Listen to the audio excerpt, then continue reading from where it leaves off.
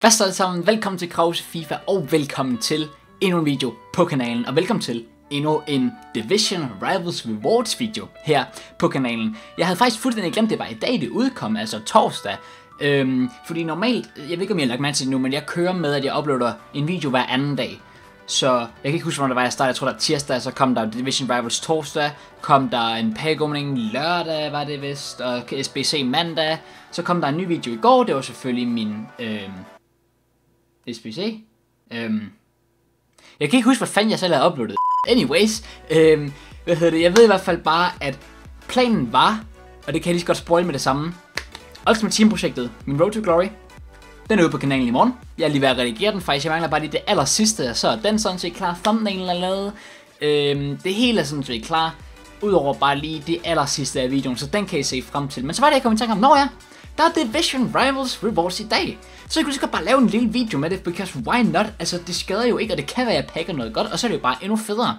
Så I kan se, at jeg er altså inde på det her. Jeg kom til at trykke ind på, at man skulle vælge mulighederne. Jeg kunne ikke trykke tilbage. Nu er jeg tvunget til at vælge en ting. Så øhm, det jeg gør, det er, at jeg gør ligesom sidste gang, at jeg vælger altså dem med flest pakker i, fordi det er bare sjovest. Det jeg endte med, det var altså, at jeg fik det her rang 3. Igen, jeg spillede ikke vildt mange kampe. Jeg, føler, altså, eller, jeg ved, jeg spillede flere kampe i går sidste uge, men alligevel fik jeg samme rang det forstår jeg egentlig ikke helt, men altså, oh, oh well, whatever. Øhm, hvorfor, hey, hey, hey, hey, hey. Hvorfor har vi kun to? Tak. nu skal I ikke snyde mig i. Øhm, til jer, der gerne vil se det, så har jeg altså også, eller okay, ja, jeg vil lige vise jer mit hold, men øh, jeg har jo så brugt, jeg har brugt rigtig mange af dem på squad building chancen, øhm, som jeg lavede, øhm, som jeg lavede her den anden dag, øhm, som forresten ikke engang kommet ud på kanalen nu. Den kommer søndag. Så glæder jeg til det. Tror jeg, den gør. Ellers så kommer den... Den kommer på et tidspunkt. Men øh, for lige at sådan forklare hurtigt, lynhurtigt, hvordan jeg sådan ellers havde stillet det op mit hold, øh, fordi det, altså, I might as well, altså jeg kan lige godt vise jer, hvad jeg spiller med, og prøve at give jer nogle idéer og sådan noget. Det er ikke fordi, I skal lytte til mine idéer, fordi jeg er generelt ikke den bedste. Hallo! Tak. Jeg er generelt fucking elendig til FIFA, men altså, derfor kan det godt være, at I kan tage inspiration af noget, jeg har lavet alligevel. Jeg kan ikke engang huske, om jeg havde her. Nå, det kan jeg godt nu. Øhm, kan man godt skrive det sådan her? Ja, tak. Okay. Øh, uh, okay, ham har jeg i klubben. Nå, ham pakkede jeg faktisk. Okay, perfekt. Perfekt. og på centerback, øh, jeg havde Juan Jesus. Rigtig god forsvarsspiller, skal jeg lige hilse at sige. Jeg er rigtig, rigtig god. Øhm, så der har men ikke den der version, den der version. Og på den aller sidste, på de to sidste pladser, der havde jeg først og fremmest øhm, Con Dog Bia på central defensive midt. Rigtig dyrt kort, men også et rigtig godt kort. Og så har jeg altså på CB, øhm, hvor har vi ham? Vi har Gabriel Paulista. En ting, jeg overvejede at gøre, det var faktisk, at eftersom hvad hedder det, øh, øh, Kondogbia får fuld kæm alligevel, så har jeg overvejet faktisk bare at køre med Kim Pembe nede på centerbacken her i stedet for, fordi han er sjovt nok meget bedre end Gabriel. Gabriel. Jeg havde bare ikke lige coins til det på det tidspunkt, men jeg kunne godt overveje, at jeg gjorde det sådan, så nu tog ham her ud, og så tog en anden keeper på, fordi resten af spillerne får nok kemi alligevel, så kunne du jo køre Kim Pembe og Buffon, eller Ayola, hvis han stadig spiller PSG, whatever, eller en eller anden spiller, der selvfølgelig giver fuld kæm på målmandsposten. Så ja, det er sådan set, det var det hold, jeg kørte med. Og det er egentlig meget godt. Jeg synes, jeg har haft sådan okay succes med 4-2-2-2. Og jeg synes, jeg har haft okay succes med sådan en som Costa på toppen, fordi han er bare et based. Altså, du kan ikke skubbe ham med bolden, ligegyldigt hvad du gør. Lautaro Martinez er lidt nemmere at skubbe bolden, men han er så også lidt hurtigere end Costa, og meget bedre til at drible skille til at sige. Costa, det er bare sådan, det er ligesom at se ham spille i virkeligheden. Altså, når han løber bolden, så er det sådan her. Øh, øh, øh. Jeg ved ikke, hvad jeg selv sidder og laver. Men Lautaro Martinez er bare sådan her det går fucking stærkt. Hvad laver jeg? Og så har vi altså Gomez. Nå ja, han pakkede jeg i en two-player pack. Så, og jeg havde ham på hold i forvejen, så jeg kunne bare sælge den, jeg havde, og smide ham her med en låsespiller i stedet. Det var perfekt. i Nico Williams, okay, fin spiller. Han forventede lidt mere af ham, men det er også fordi, jeg bruger ham på central offensiv, så man kan ikke forvente det bedste af ham sådan set. Resten af holdet synes jeg gjorde det strålende. Øh, min næste opgradering ville nok være en i stedet for Dalbert. Øhm, men det er selvfølgelig lige, hvem man skal have ind der. Det er jo et rigtig godt spørgsmål. Specielt altså, hvis jeg begynder at køre med to nye spillere herover i stedet for, fordi så skal jeg jo til at finde en, der giver kemi til Juan Jesus stadigvæk. Øhm, så okay, whatever. Fortnite, gå væk. Så det så det hold, jeg kørt med. Jeg, har, jeg, jeg synes som sagt, 4-2-2-2 har jeg haft okay, fin succes med. Øhm, for jer, der gerne vil høre min instrukser, jeg kan, altså, det er fordi, jeg, altså, Ja, jeg kan jo ikke lige frem... Åh, oh, det kan jeg ikke engang. Okay. Nå, det jeg egentlig havde, det var bare, at jeg har Costa som en target man. Han bliver bare inden foran og bare står som boksspiller. Det er sådan set det mest sådan vigtige. Resten har jeg selvfølgelig lige pillet lidt ved. Jeg har sat nogle små ting rundt omkring, men altså det, det, det mest væsentlige, det er selvfølgelig, at jeg har Costa som min target man, fordi det er bare det, han skal. Så ja, men det var i hvert fald, øh, det var mit hold til jer, der er interesseret i det. Lad os bare hoppe ind i pakkerne med sammen. Vi har altså fire af de her premium guldpakker og to mega pakker, så lad os bare tage hold på dem med det samme. Første pakke, premium guldpakke. Lad os se, hvad EA har in store for os. Først og fremmest, fed animation der, ikke noget board. Goddammit. Oh, vi får, oh, Adidas. Okay. Faktisk en rigtig decent spiller fra Atletico der. Øhm, altså det kan være lige meget, hvad det går for. Jeg vil sige, hvor meget går han for, men altså, det kan jo være fuldstændig ligegyldigt, for jeg kan ikke sælge ham. Men øh, altså faktisk et utroligt decent kort. Så det, det, det er okay.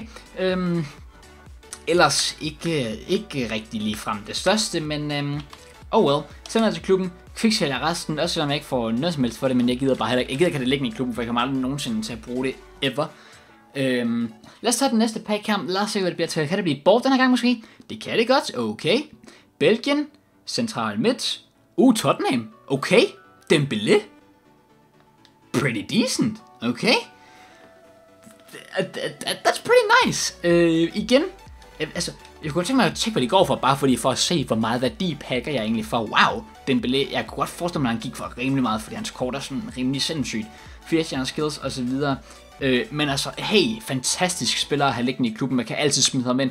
Ligegyldigt, hvornår jeg har tænkt mig at lave et Premier League hold, det er fuldstændig ligegyldigt. Jeg kan altid bare sætte Dembélé ind, fordi han er bare så insane. Så okay, decent indtil videre. Næste premium jumbo. Guldpakke. Lad os se, kan vi få endnu et board måske? I wouldn't mind at all EA. Kom med det. Eller, eller ikke. Eller ikke give mig et port. Vi får i stedet for... Øh, oh, Pavard. Okay. Havde rimelig vanvittigt. VM vandt selvfølgelig VM med Frankrig og scorede that goal mod Argentina. Lad os bare lige appreciate det. Så fucking CB. 46 skud. My ass. Åh, oh, for yeah. Dude. That's insane. That's insane. Det kan jeg godt bruge. Er du sindssyg, mand? For selvfølgelig anker. Anker kan du altid bruge. Shadow. Eller skygge. Anker. Yeah. Du kan altid bruge dem. Altså, de, de er simpelthen bare too good. Øhm, så, så det var faktisk utrolig godt, at vi fik den, fordi might as well. Øhm, så lad os tage den næste. Jeg, jeg burde måske egentlig have mixet det sådan lidt op, så jeg tog to premium guldpakker, en megapakke, og så to guldpakker igen, og en megapakke igen. Whatever, nu gør vi det på den her måde i stedet for, så får vi det, det værste lort overstået. Vi pakker fucking Fernando, altså, come on. Øh, jeg vidste faktisk ikke engang, at han var skiftet til Galatasaray. Jeg troede, ikke fordi jeg, stadig troede, han var i City, fordi han spillede jo aldrig, men, men jeg var faktisk i tvivl om, hvor fanden han sådan spillede hen nu. Så now I know. Øh, resten af tingene, åh, oh, okay, det er faktisk nogle fede, tror jeg, det er, der long. Okay, jeg synes ærligt talt, der er mange gode kits i år. Jeg synes hver eneste gang, hov, jeg synes hver eneste gang, jeg åbner packs, så får jeg altid nogle mega fede kits. Hvor jeg bare sådan, dem vil jeg bare gerne gemme, men jeg kan ikke bruge dem alle sammen jo. For man kan ikke sjovt at kun bruge to. Men altså, oh well. Next pack, mega pakke. Come on, lidt bedre end det før. Øhm, lad os se, hvad det bliver til. Kan det mindst være et board? Ikke engang et board. Ud for robot, ikke? Ikke at det skulle være godt overhovedet, men altså, oh well. Eller, ellers, jeg ved ikke, hvad, hvad skulle det ellers ligge, der har pakker, du gør det godt. Uh, Doombia. Uh, har ikke fisk skills. Okay, sådan shit. øh, øh, øh, øh, ellers sådan noget... Altså, der er rigtig mange ting, vi kan bruge. Og en guldpakke for en sags skyld. Men resten af, af lortet, det sælger vi selvfølgelig bare. Og hopper videre til... Ikke den sidste pack. Fordi vi skal lige, vi skal lige op den 5k pack først. Det er basically bare EA's måde at spille din tid på.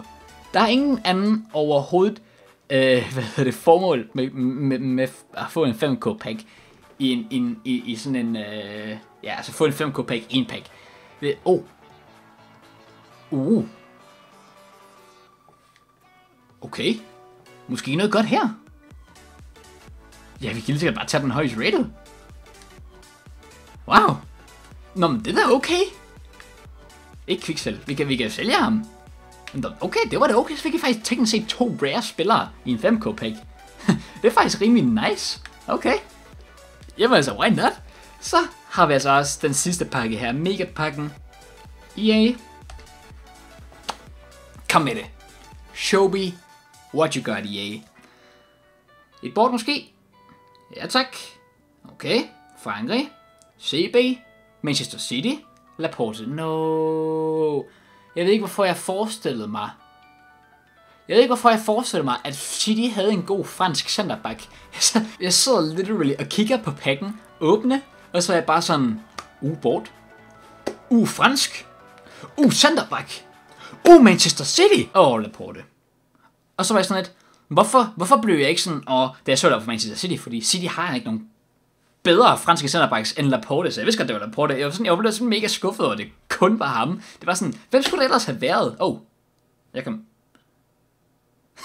jeg kom til at slå min R2-knap op i, øh, i, i bordet, så jeg gemte lige alle ting i min klub. Okay den, men altså okay, come on, I skal da ikke lige snydes for bare lige en sidste pack. Jeg har altså lige hurtigt lavet den her, fordi jeg har en helvedes masse Champions League spillere liggende i min klub, som jeg lige så godt kan bruge, så jeg kommer jo aldrig nogensinde til at bruge hverken ham her Samaris, eller ham her Luis Sau.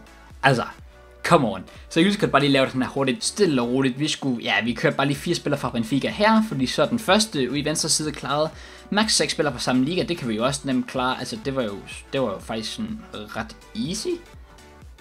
Og ja, så er resten af Squad faktisk utrolig nem. Sådan literally utrolig nem. Så ikke så meget der. Midt i rampelyset er altså hermed klaret. Vi får 500 mønter og en Elektrum spillerpakke. Og i den sjældne Elektrum spillerpakke får vi altså således Bort. en form, ja tak. Uh, er det øhm, Finn Bogerson? Ja da da, okay, ja, ja, decent. Så får vi da alligevel en inform i den her pack opening her. I'll take that. Oh my god, what the fuck? Og company? Nå nej, nej, han har ikke noget pace. Han har ikke noget pace. Han går ikke for en skid. Nej, EA, what have you done to company? Okay, han går stadig for sådan 9k. Oh wow, så I det? Der er en, der har budt sådan næsten 9 på ham. Okay. Wow, that's a... Sjovt nok så var den her pack fra den her SBC meget bedre end alle packs, jeg åbnede lige før næsten. Eller, det var den faktisk. Okay, Ah, Company. Altså, prøv at se, prøv at se. Han kort 85 rated, rigtig god defensiv og fysiske stats. Men han er bare langsom. Seriøst, hvis han havde 76 pace, han havde gået for 50k. Altså, mindst. Så det er en skam. Men altså, oh well. Vi kan stadig sælge ham, og vi kan jo lige så godt stadig sælge Finn Bogerson. Også resten af spillerne gemmer vi selvfølgelig bare i klubben. Jamen, så bliver det da alligevel til en okay fornuftig slutning på den her video her. Hvilket jeg faktisk er rimelig glad for. Og det var egentlig også det, jeg lidt håbede på, der ville ske, da jeg lavede den der SBC. Det var, at man lige lige kunne få det sidste med, så man bare lige sådan lige havde lidt at give af i den her video, kan man sige. Så ja, jeg håber i hvert fald, at I er nyt at se med. Hvis I har, så glem selvfølgelig lige at gå ned og smid like på den. Det betyder utrolig meget for mig. Hvis I er ny på kanalen, så kan I selvfølgelig også lige gå ned og klikke på subscribe-knappen. Og endnu en gang tusind tak, fordi er det som er alle sammen. Og vi ses!